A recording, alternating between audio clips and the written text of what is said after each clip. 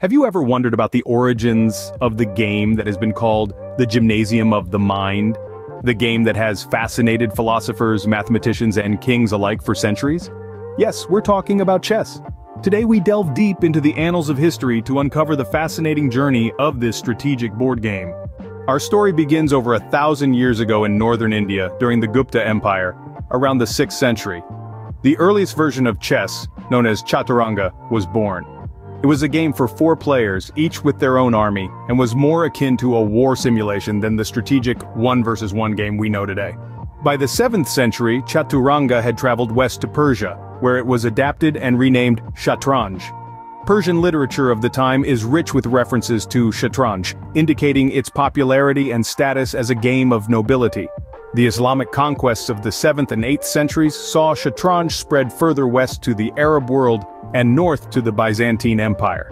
The game was also introduced to the Far East via the Silk Road, leading to the creation of Xiangqi in China and Shogi in Japan.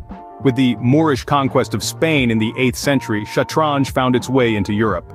The game evolved significantly during the Middle Ages in Europe, with the introduction of the modern moves for the queen and bishop around the late 15th century.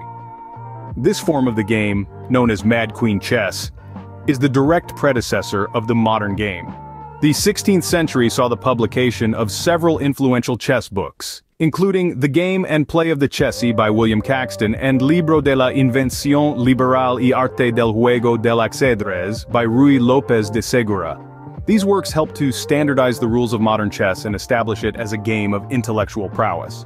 The 19th century marked the start of the modern era of chess, the first international chess tournament was held in London in 1851, and the World Chess Championship was established in 1886.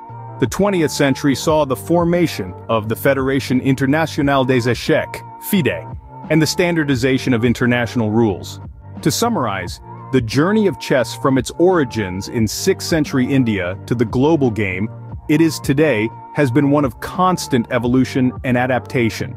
It has traveled across continents and cultures, been a game of kings and philosophers, and morphed from a four-player war simulation to a strategic two-player game.